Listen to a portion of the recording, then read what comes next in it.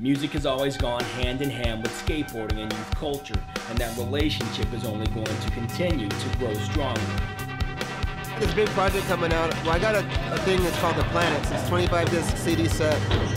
All kinds of music, reggae, hip hop, jazz, big band swing, old school funk, and then heavy rock, like metal stuff.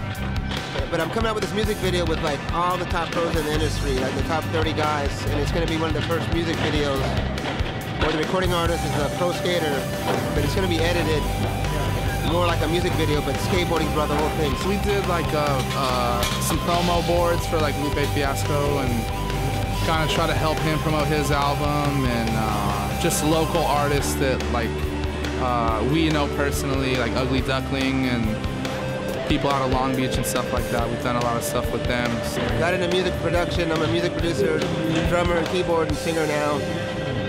Man, it's really cool. It's like definitely opens up a lot of doors for uh, you know a lot of cool different stuff that you wouldn't normally do skateboarding like you know interacting with like music artists and doing collabos with them and uh, you know the whole streetwear scene which is really taken off now. It's kind of meshed with skateboarding which you know opens up a lot of cool things you know what I mean? So MySpace just hit me up. I'll respond and I got all my music on there, got videos you can sample, check it out, so.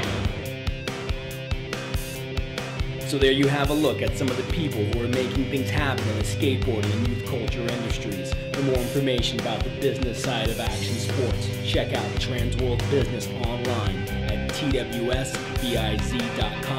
or log on to the ASR website at asrbiz.com.